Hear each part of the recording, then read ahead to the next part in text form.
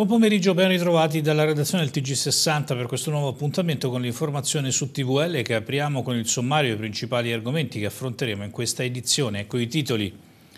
La conclusione di un cerchio nel segno della solidarietà, quello che è accaduto questa mattina alla Mike, gli organizzatori della biciclettata della salute, come da tradizione, ne hanno consegnato parte del ricavato alla fondazione, un'altra realtà sociale del territorio pistoiese.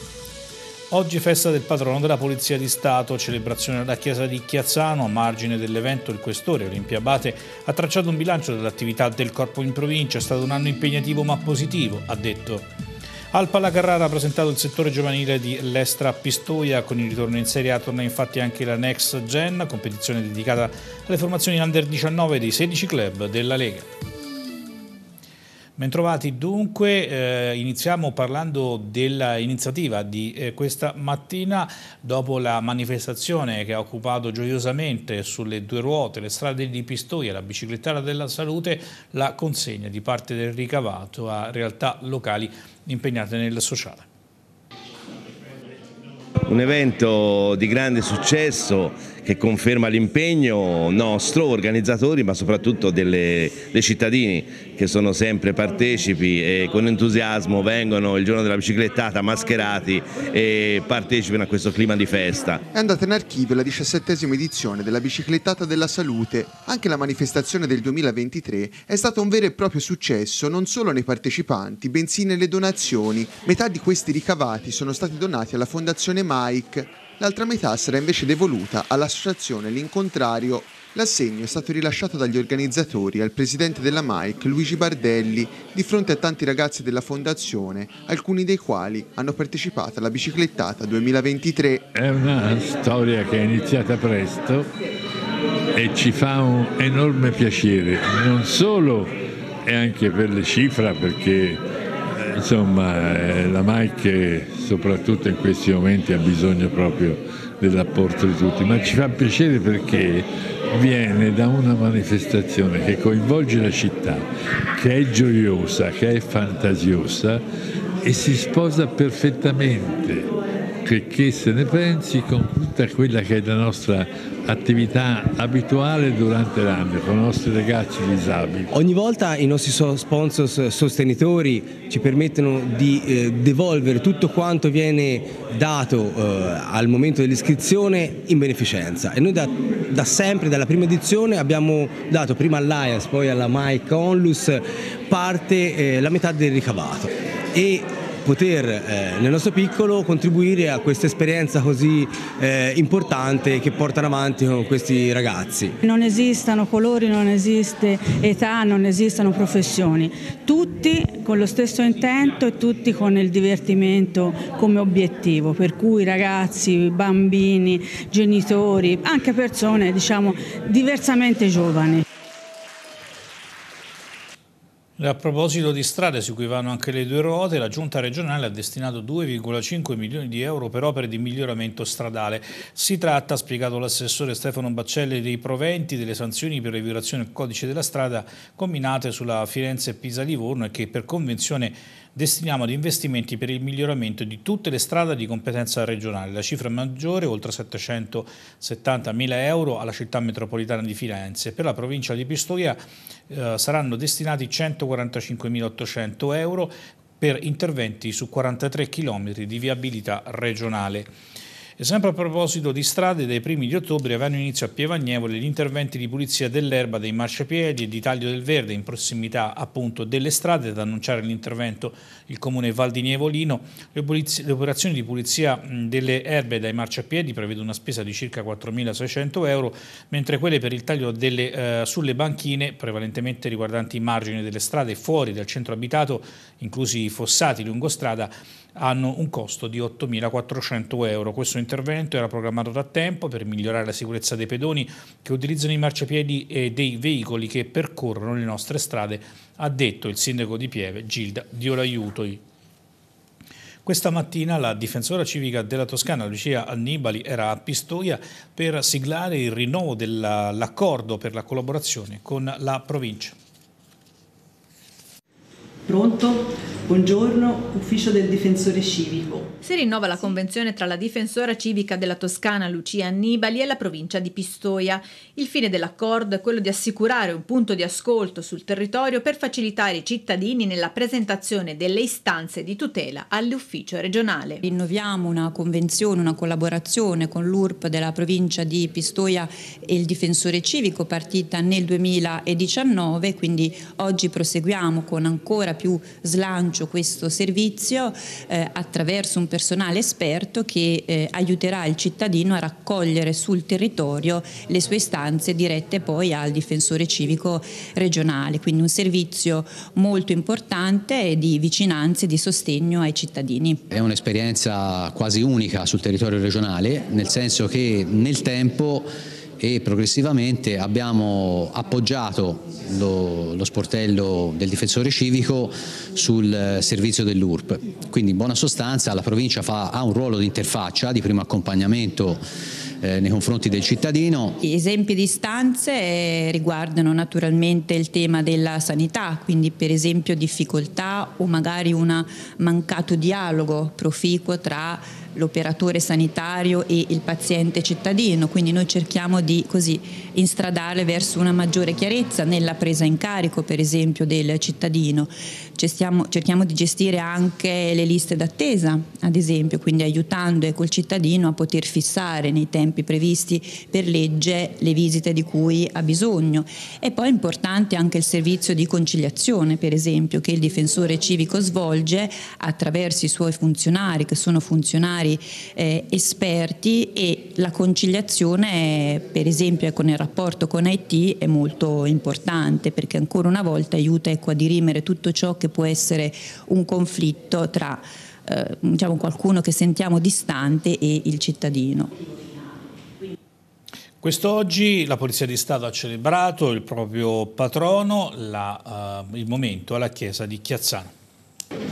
Nella giornata del 29 settembre la Polizia di Stato di Pistoia ha celebrato la ricorrenza di San Michele Arcangelo, patrono dei poliziotti, con una messa alla presenza del prefetto Donatella Messina, del questore Olimpia Abate e delle massime autorità civili e militari e con la partecipazione della cittadinanza proclamato da Papa Pio XII patrono e protettore della Polizia di Stato per sostenere la lotta che il poliziotto combatte tutti i giorni con impegno professionale al servizio del prossimo, San Michele è stato celebrato con la Santa Messa alla chiesa di Santa Maria Assunta a Chiazzano, dal vescovo di Pistoia Fausto Tardelli, accompagnato dal cappellano della Polizia di Stato, Don Cristoforo Mielnik. Desidero esprimere la mia gratitudine, signor Questore, per aver scelto questa frazione, piccola frazione di periferia come luogo di celebrazione della festa odierna, per ricordare che la Polizia di Stato è presente ovunque tra la gente, anche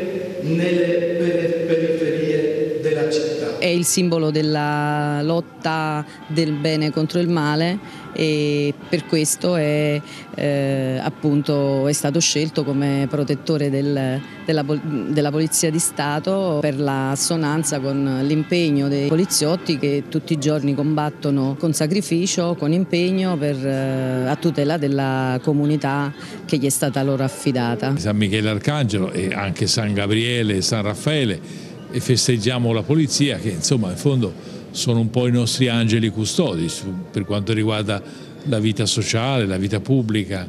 E quindi vogliamo onorare questi, queste persone che che ci aiutano a vivere meglio. È possibile tracciare un breve bilancio di quella che è stata l'attività della Polizia di Stato a Pistoia nel 2023? È stato un anno impegnativo e molto intenso. Questo è un territorio certamente con un livello di criminalità non particolarmente eh, aggressivo. Siamo però soddisfatti eh, sia in termini soprattutto in relazione ai risultati dell'attività di prevenzione che per noi è l'obiettivo l'obiettivo principale. Una rassegna d'arte sul sacro nel contemporaneo ha visto impegnati numerosi artisti, si è conclusa nei giorni scorsi, andiamo a vederla. Nella pieve di San Tommaso e Ansano di Castelvecchio nel comune di Pescia si è conclusa la rassegna d'arte dal titolo Il sacro nell'arte contemporanea. La mostra inaugurata il 2 luglio è rimasta aperta fino a domenica 24 settembre. E oggi è appunto la chiusura, il finissage della mostra.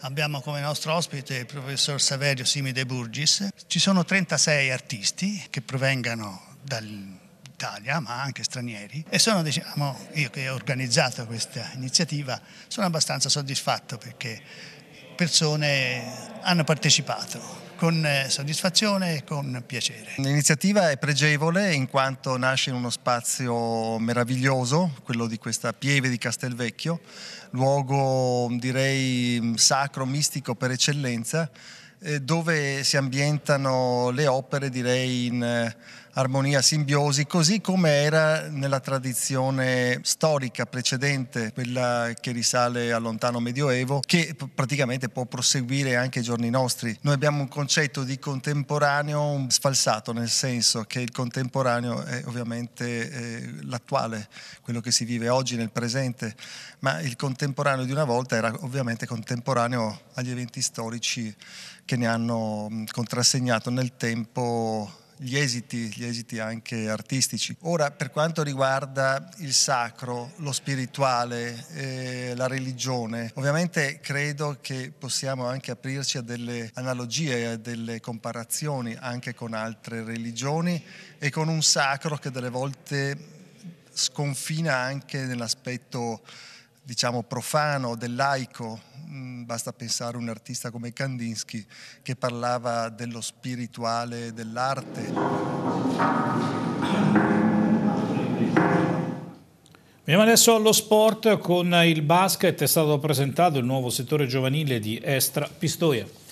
Con il ritorno dell'Estra Pistoia in Serie A cambiano le regole, cambiano anche le aspettative del settore giovanile con eh, il ritorno della Next Gen. La Next Gen è una ulteriore pratica che i nostri ragazzi dovranno affrontare quest'anno, eh, che coinvolgerà tutte le squadre giovanili under 19 affiliate alle società di Serie A1, all'interno della quale poi uscirà una, una squadra vincente, come è normale che sia, ed è un'esperienza eh, ulteriore perché comunque comunque ci permette di eh, affrontare eh, già squadre che sono strutturate in un certo contesto, che hanno una certa esperienza eh, di settore giovanile legata a società di Serie A1 e quindi eh, molto molto formativa. Quali saranno le squadre che faranno parte del settore giovanile del Pistoia Basket? Come tutti gli anni tre squadre eccellenza, Under 19, 17 e 15, quest'anno abbiamo l'Under 19 che parteciperà al campionato Gold rispetto a quella dell'anno scorso che era l'Under 17 e poi le classiche 15, 14 e 13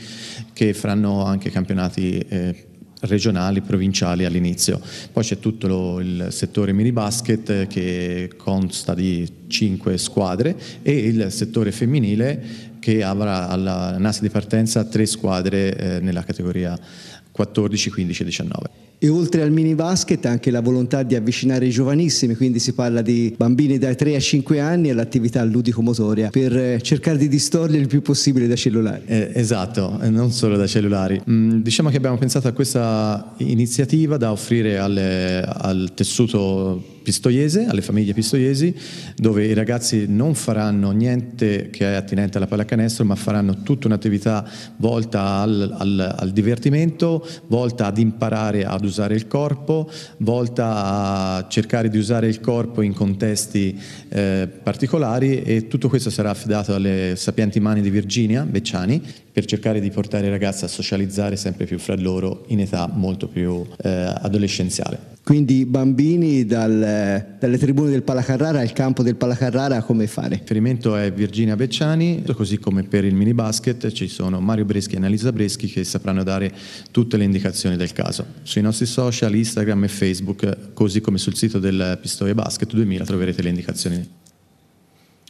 Con questo è tutto per questa edizione del nostro telegiornale. Vi ricordo nel pomeriggio alle 14.30 c'è la replica della puntata di ieri sera di Giovedì Sport. A seguire Toscana Sprint, dunque in primo piano il mondo del ciclismo toscano alle 17.50, nuovo appuntamento con Ganzo eh, e a seguire alle 18.05 aperitivo al Sesana. Noi eh, ci ritroviamo con l'informazione, quindi come di consueto dalle 19 con l'inizio della nostra striscia informativa che vi accompagnerà tra telegiornale, servizi, rubriche e approfondimenti fino alle 21. Arrivederci.